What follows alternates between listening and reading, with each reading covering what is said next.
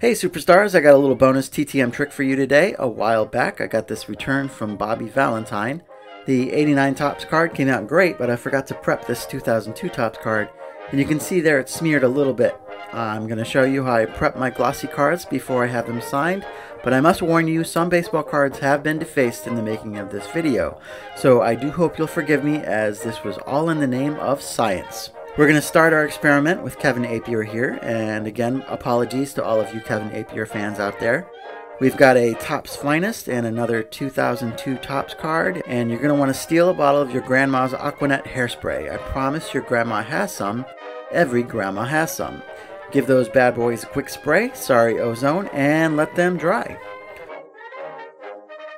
A couple minutes later, you can't tell the difference. Now I'm going to deface these cards with Mr. Sharpie here don't look if you're squeamish. And you can see it did a pretty good job. No smears, no tears.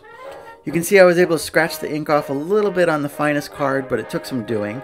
Hopefully your signer isn't going to see if you sent him scratch and sniff cards after he signed them.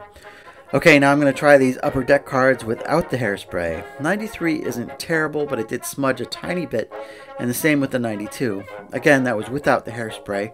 The 2002 Topps with the hairspray held up much better, but these are all different cards.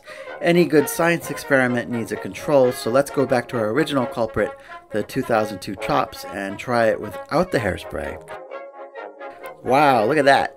It smudged right off of there. So there you have it. I know there are other ways to do this, but that's how I do it. I've got lots of Aquanet lying around because I've got lots of grandmas. I mean, I use it to seal my charcoal drawings. It's super easy, doesn't affect the look of the card, and it's been pretty effective for me. So I hope you found this helpful, and thank you so much for watching.